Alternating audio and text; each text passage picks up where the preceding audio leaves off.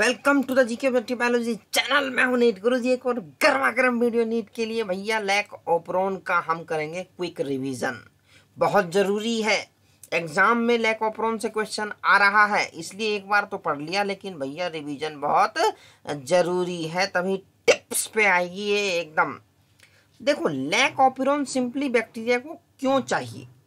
Lack operon एक molecular genetic machinery है जो कि लैक्टोज के डाइजेशन में बैक्टीरिया को चाहिए। क्या होता है कि कोई ग्रोथ मीडियम है बैक्टीरिया ग्रो कर रहा है, उसमें ग्लूकोज है तो ये लैक सिस्टम जो है ना, उसका लैक ऑपरोन वो एक्टिव नहीं होगा। पार्सली तो हमेशा कुछ ना कुछ रहता है, लेकिन हम थ्योरेटिकल बात करें तो लैक ऑपरोन की ज़रूरत नहीं है। अब भाई जब लैक्टोज है ही नहीं तो उसके डाइजेशन के लिए जो उसका पर्टिकुलर सिस्टम है, वो क्यों एक्टिव होगा? ज़ाहिर सी बात है, जब सबस्ट्रेट ही नहीं है तो मशीनरी चालू क्यों होगी? तो in the absence of inducer inducer कौन है? लैक्टोज तो आई जीन जो है ना, ये आई ये हमेशा रिप्रेसर एमआरएनए बनाता रहता है और ये रिप्रेसर भी बनाता रहता है। तो ये सिस्टम चलता रहता है। लेकिन मेन है हमारे जेड वाई ए ठीक है? Beta galactosidase permease trans acetylase जब सिस्टम में क्या है? इंडिविजर नहीं होगा तो रिप्रेसर जाके यहाँ बाइंड कर देगा। और इस मशीनरी के ट्रांसक्रिप्शन को रोक देगा, एंजाइम्स बनने नहीं देगा। तो जब हमारा लैक्टोज है ही नहीं तो एंजाइम की सिंथेसिस क्यों होगी? तो जेड वाई ए कोड नहीं करेंगे, ये जाके ऑपरेटर रीजन से बाइंड कर देगा। Repressor bind to the operator region and prevents RNA polymerase from transcribing the operon एक तो ये सिनारियो हो गया। अब दूसरा सिनारियो ये है, मान लो कोई ग्रोथ मीडियम है, उसके अंदर ग्लूकोज था तो बैक्टीरिया प्रिफरेबली ग्लूकोज लेता है।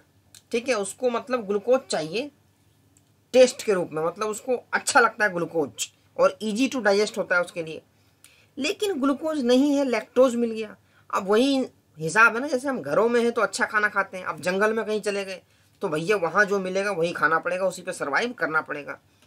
अब ग्लूकोज खत्म हो गया सिस्टम के अंदर, अब आ गया लैक्टोज तो इस बैक्टीरिया के पास कैपेबिलिटी होती है कि वो लैक्टोज की प्रेजेंस में भी ज़िंदा रह सकता है। ठीक है?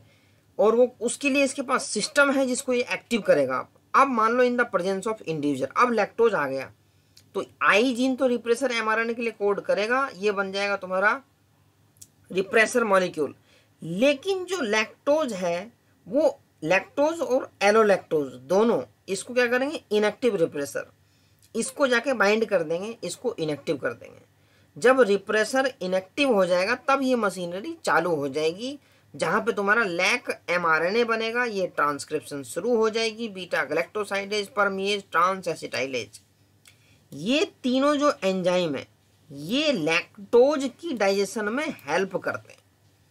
ठीक है ये तीनों एंजाइम तो इनका रोल है बीटा गलेक्टोसाइडेज परमिएज और ट्रांस एसिटाइलेज इन तीनों का इंडिविजुअल रोल भी है जो यहाँ थ्योरी में मेंशनड है।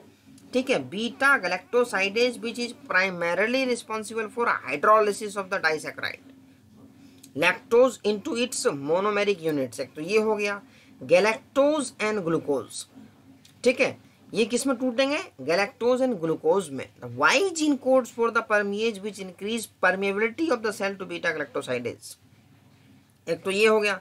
The A gene codes for transacetylase hence all the three gene products in lac operon are required for metabolism of lactose तो ये था भैया क्विक रिवीजन कि लैकोपिरोन एक तो बैक्टीरिया को चाहिए क्यों? ये तब चाहिए जब ग्लूकोज खत्म हो जाए तो वो लैक्टोज पे ज़िंदा रह जाए, इसलिए चाहिए। अगर लैकोप्रोन नहीं होगा तो बैक्टीरिया लैक्टोज पे सर्वाइव नहीं करेगा क्योंकि उसके पास मशीनरी नहीं होगी, लेकिन बैक्टीरिया में ये लैकोप्रोन होता है। इसके साथ साथ और भी अलग अलग टाइप के ओप्रोन होते हैं। ठीक है जी? और भी अलग अलग टाइप के ओप्रोन होते हैं जो कि अलग अलग चीज़ों के लिए होता है। जैसे यहाँ दिया हुआ है lac operon tryptophan operon arabinose histidine valine operon ठीक है? ये अलग अलग टाइप के ओपरोन है अलग अलग चीज़ों को डाइजेस्ट करने के लिए। ठीक है? अलग अलग चीज़ों को मेटाबोलाइज करने के लिए। तो लैक ऑफ़ का क्विक रिवीजन आपने देखा और इसका मैकेनिज्म समझा। तो जी के ऑब्जेक्टिव बायोलॉजी बाय नीट गुरु जी इसको करो। सब्सक्राइब और नीट में रैंक लाने की प्रोबेबिलिटी को बढ़ाओ।